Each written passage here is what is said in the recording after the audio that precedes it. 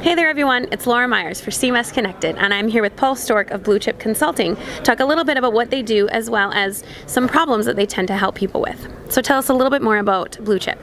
So Blue Chip is a Microsoft partner who focus on helping our clients to get the most out of their Microsoft licensing mm-hmm. uh, in a predictable fashion. Mm-hmm. We cover the whole Microsoft stack. We don't do just SharePoint. We do everything from identity management to SQL Server to uh, to SharePoint to custom application development.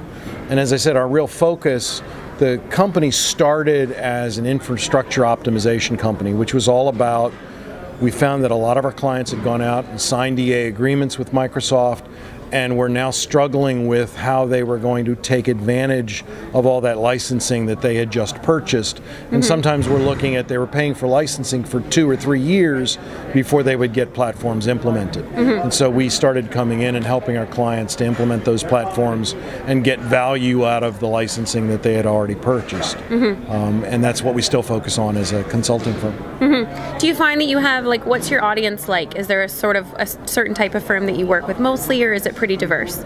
I, I mean, we have certain pockets, certain verticals that we work with. We're mm-hmm. headquartered out of Cleveland, Ohio, mm-hmm. and so being out of Cleveland, we get a fair number of um, financial services companies, insurance companies, uh, and also have a big stake in a, a number of medical institutions, mm-hmm. hospitals, and, and healthcare institutions.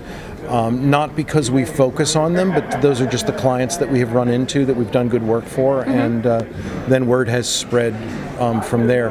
In terms of what we focus on as a consulting firm, primarily we focus, we choose to focus on Fortune 500s and above, mm-hmm, mm-hmm. Um, because we like to do projects that really cross the entire corporation and can really change the way that a company does business rather than focusing on just implementing a particular product like SharePoint or a particular product like Forefront Identity Manager. Mm-hmm. Do you, because user adoption is such a big question um, surrounding these platforms, do you have any advice for people on how to up their user adoption?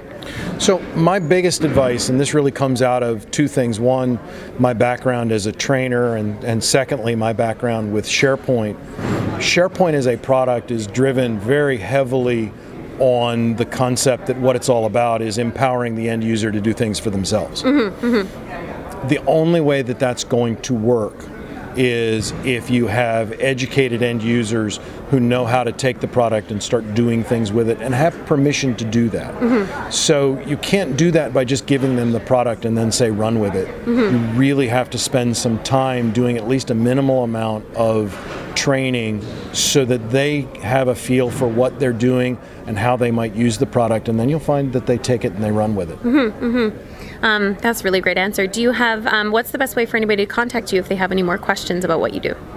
So the easiest way is um, you can contact me direct at paul.stork at bluechipllc.com. Mm-hmm. But the easiest thing is just go look up Blue Chip Consulting Group in the internet and you'll find us and you'll find contact information on the website.